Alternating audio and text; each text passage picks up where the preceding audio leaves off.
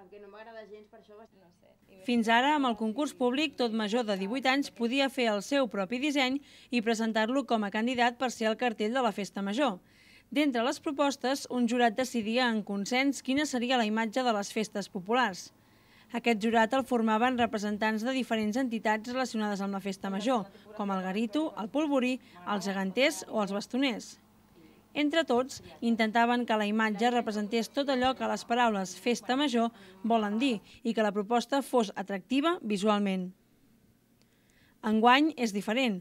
L'Ajuntament farà un sorteig per triar qui serà el dissenyador del cartell, no el disseny poden presentar-se aquesta convocatòria a les empreses de disseny gràfic i als dissenyadors autònoms amb seu a Cardedeu.